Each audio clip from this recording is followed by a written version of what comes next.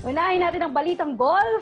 Opisyal nang nakapasok sa 2020 Tokyo Olympics ang Filipino golf star na si Jovic Pagunsan.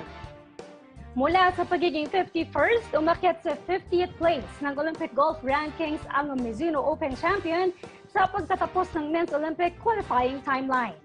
Ang top 60 lamang ng nasabing listahan ang makapapasok sa quadrennial meet.